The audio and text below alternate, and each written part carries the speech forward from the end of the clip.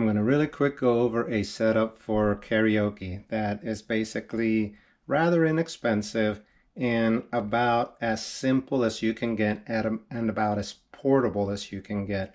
We're going to be using a mixer that has Bluetooth capability. In this case, it's the Phenyx PTX15. Sells between for uh, 110 to 120 dollars on Amazon. We're going to be using powered speakers, so we don't have to use a separate receiver. And in this case, we're using the PreSonus Eris 3.5s, which can be bought for about a hundred dollars also. We're going to use the Ultra Voice. There's a Behringer microphone, about a $25. We need a speaker cable, depending on what you want to get, about $10.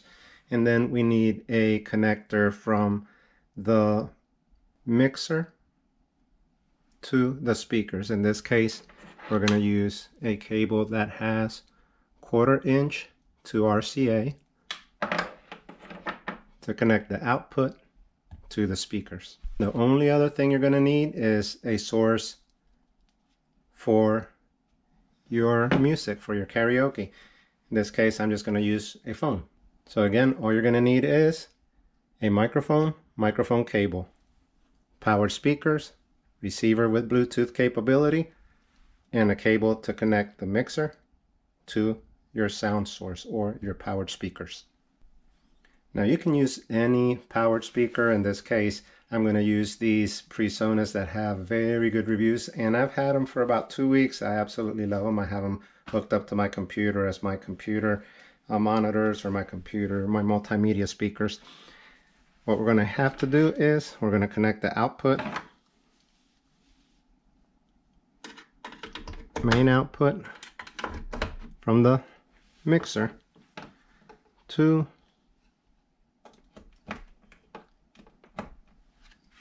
the back of the one speaker. Different speakers work different ways. This one, you have a main speaker and you have your slave speaker.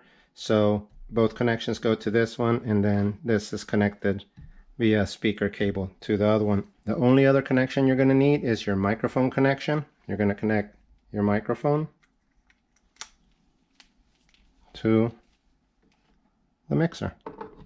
All right, so already set up. Now the nice thing and convenient thing about having this type of mixer that has built-in sound effects and has Bluetooth capability is that one, you do not need an external sound effects. You can set your reverb or echo right on the mixer. So no external effects, less no extra cables.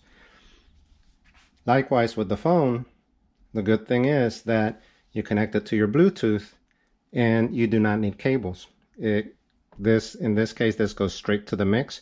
You can control the volume here for your music, and then you can control your volume here for your microphone, and they're both going to go into the mix. In this particular mixer, in order to connect the Bluetooth, you're going to press here where it says mode, and it says blue.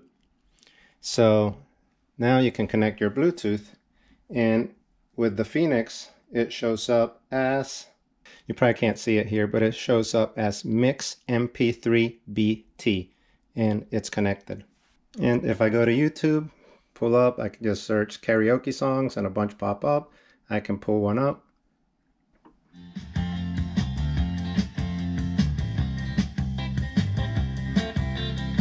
Alright, so I just leave my main where I want it and I control volume to the music here. Testing, testing, one, two, three.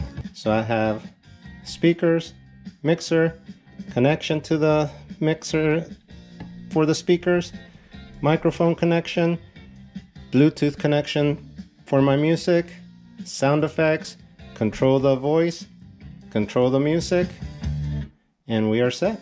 You can throw that little box take it with you and you have a party. And these sound very loud. They have 25 watts each, I believe, only 3.5 inches. Very good. I'll leave a link to these in the description. I'll leave a link to the mixer in the description. And let's turn the music off. I'll also leave a link to a couple of other monitors that you might be interested that will not break the bank. So here I think I have, without the phone, of course, that's the most expensive thing, there might be about $250 for the whole system. So not too bad for a karaoke setup. That's going to sound very professional with these very nice speakers. Thanks for watching. If you have any questions, leave it in the comments.